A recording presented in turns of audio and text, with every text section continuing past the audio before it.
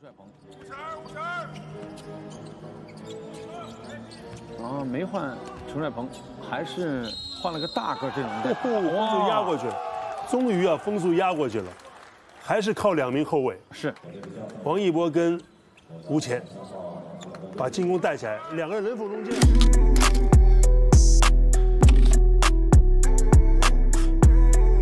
两个人来跳球。跳球之后，比赛正式拉开帷幕。拿到球权的是浙江球队。现在为止，浙江不仅没得分，四个犯规，三个失误，这个应该说是本赛季打到现在为止他们表现最差的一个开局。关键时刻，终于有人站出来得分了，还不一样。基本上他就是在游击区闪转腾挪。赖俊豪也是，哇，这个失误球很麻烦，这也是令人比较担心的地方，因为广厦队他这个赛季会给一些年轻球员上场的时间，实在是显得太多了。刚才浙江筹洲京都队他的防这个挡拆啊，包括轮转防守还是防得非常好。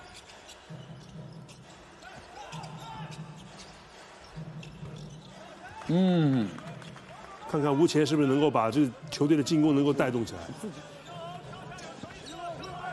今天上半场双方的进攻啊，确实，哦，吴前终于找到感觉了。吴前还是一定要调整心态。全华班的一个注册模式，那再加上这个今年的规则的变化有所改变。哦来了来了，连弩来了。吴前来了，吴前两个三分，这个看到浙江筹洲京都队进攻起色的一个表现哎，这个就好球。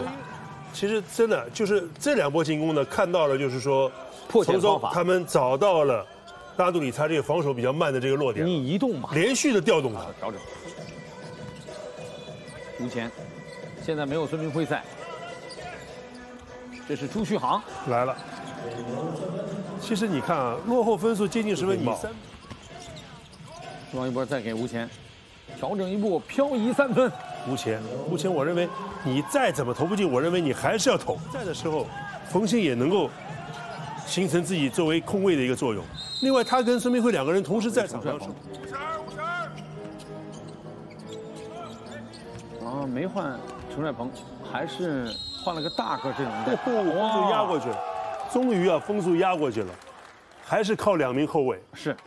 王一博跟吴前，把进攻带起来，两个人人缝中间啊。我们说这是个大延误，大延误的时候呢，中间有条缝儿，而穿这种缝儿呢，吴前他是一等一的高手。就我说他从落后到领先，所以看到浙江筹洲京都队的这种，再看吴前，拆出来，朱旭航又有机会了，啊，这就是抓到了防守的问题了。就是以快，以更大的空间来打碎你的高的优势。哦，好球啊，吴前，这个动作的幅度太大了，就是刘泽一提上掩护，对吧？这个其实蛮简单的，就是打你拉解决防守问题，对吧？如果进攻你再不用他的话，那我觉得就麻烦了。王一博马上追身打，这看到没有这就是张元浩还不得分，这个节奏太抽抽了，完了完了，这个球要、啊要暂停了。这个节奏不对。要暂停，因为为什么？就是我还是那句话，拉杜里他在场上，你要用他是什么？你不是用他在跟你折返跑，是在场上他首先没有去组织起来打拉杜里查内线的优势，那你让他在场上双方的分数差距现在是六分，领先的是抽抽，又是无前，是啊，这就是他们虽然没有高度，但是有速度的一个特点。后卫突完了，两个后卫突都没机会。继续给拉杜里查很好，对吧？又拉杜里查的问题了。哎呦，看看，最终还是找到拉杜里查了，他转找到拉杜里查这边，再做高位的手递手的传球掩护。直到你了，都远远低于他们的赛季平均水，平，这场比赛两队确实拼得太凶了。太凶。我觉得下一场他们都得缓一缓。哎呦，朱庆航今天的三分这是关键三分，已经两次了到内线，就是他非常擅长的右手上篮，而反过来吴前这边准备不足，哇，这样的话，这个比赛的天平已经是但是罚的不过。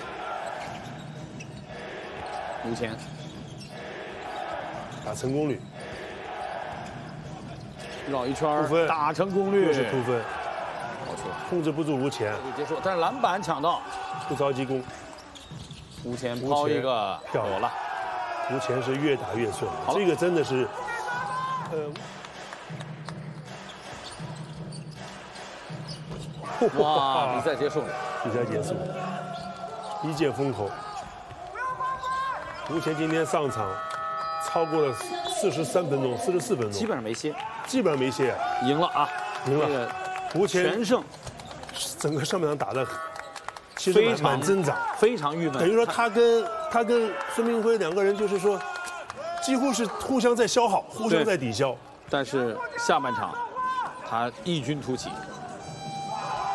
对，这场比赛真是拼得够凶啊！嗯，